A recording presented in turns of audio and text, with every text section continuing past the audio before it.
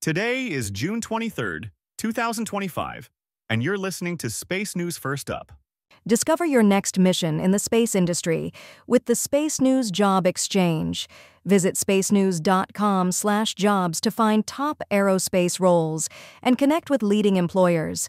And for employers, use discount code JOBEX for 15% off your next purchase. Here are today's top headlines in space. An Atlas V lifted off Monday morning carrying the second set of Amazon Project Kuiper satellites. United Launch Alliance is testing a version of OpenAI to help it with some tedious tasks. Jared Isaacman said he is interested in pursuing, outside of NASA, an initiative he planned to implement if he had become NASA administrator. Airbus executives said efforts to turn the company's space business around are going well. Pentagon officials say they are still a long way from their goal of creating seamless, interoperable space communications networks.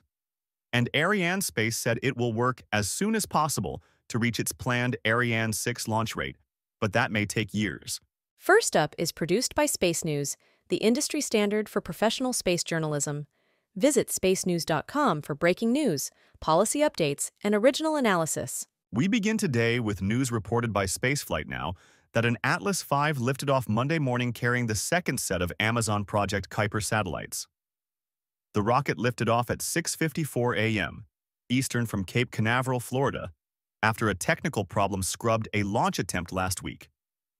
Neither United Launch Alliance nor Amazon provided many details about the launch after the second stage ignited, but ULA confirmed successful payload deployment a little more than an hour after liftoff. The rocket carried 27 Kuiper satellites. The second batch of operational satellites after the first was launched on another Atlas V in April.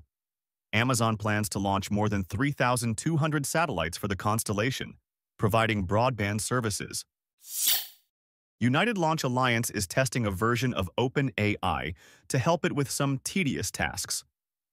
ULA has deployed what it calls Rocket GPT to about 150 employees as part of a trial program. The tool uses a government-compliant version of OpenAI's technologies running on a secure cloud computing platform.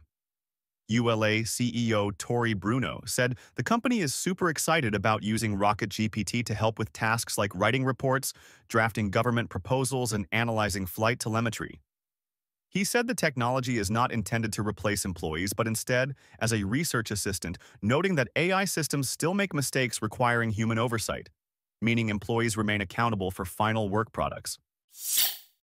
Jared Isaacman said he is interested in pursuing, outside of NASA, an initiative he planned to implement if he had become NASA administrator. In comments after accepting a National Space Society Award Saturday, Isaacman said one of his goals for NASA was a concept in which NASA would provide support to outside organizations interested in pursuing scientific missions. While Isaacman's nomination to lead NASA was withdrawn three weeks ago, he said he was interested in trying to test that concept and see if you could fund an interesting robotic mission with academic organizations. He said that while people are rightfully upset about proposed NASA budget cuts, he still believed that this was the best time for human spaceflight since the 1960s. Airbus executives said efforts to turn the company's space business around are going well. In comments at last week's Paris Air Show and a separate Airbus Business Update event, executives of Airbus Defence and Space said the company's space business was stabilizing after cost and schedule problems on some programs that led the company to take $1.5 billion in charges last year. That included work on OneSat, a line of software reconfigurable geocommunication satellites, the first of which is scheduled for delivery to customers in 2026. Airbus is in talks with Leonardo and Thales Alenia Space to potentially combine their space businesses, with Airbus officials saying such a consolidation is necessary for Europe to more effectively compete globally. Pentagon officials say they are still a long way from their goal of creating seamless, interoperable space communications networks. The goal is creating what the Defense Department calls Enterprise SATCOM, a virtualized software-defined network that could automatically reroute communications between military, commercial, and allied nations' satellites if an adversary jams one satellite system. But the reality is an ecosystem full of manual processes, hardware silos, and incompatible standards. What's needed, government and industry officials said, are standards analogous to those that allow smartphones to operate on different networks. Arianespace said it will work as soon as possible to reach its planned Ariane 6 launch rate, but that may take years. At the Paris Air Show last week, Arianespace CEO David Cavaillolès said the company still planned for four more Ariane 6 launches this year, after one launch in March. The company has a goal of 10 Ariane 6 launches per year, but Cavaillolès did not commit to a specific year the company would reach that rate, only that it expected to do so by the time it is scheduled to start launching IRIS-squared communication satellites in 2029. He added the company is seeing strong interest in the Ariane 6 from government and commercial customers, including those worried about relying on a single launch provider. Share your company's news with the entire space industry through Stellar Dispatch, the press release service from SpaceNews. Learn more and use discount code SD2106 for 15% off when you submit yours at spacenews.com/stellar dispatch. In other news, China launched a geo communication satellite Friday. A Long March 3B lifted off at 8:37 a.m eastern from the Xichang Satellite Launch Center, and placed into a geostationary transfer orbit, the ChinaSat 9C, Zhongxing 9C, communications satellite.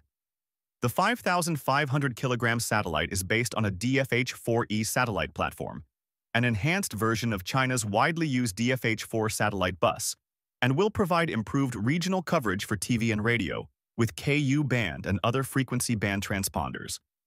It will replace ChinaSat 9 at 92.2 degrees east in GEO.